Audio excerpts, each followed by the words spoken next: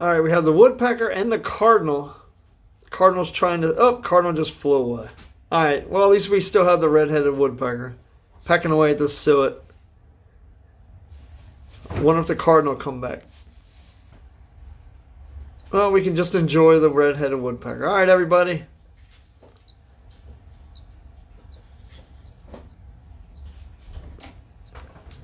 Oh, there he goes. But now we have a little bird down. Oh, what is that? Yeah, look. Here's another little bird trying to get some corn and some seed. All right, everybody, hit that subscribe button. Thanks for watching. See ya.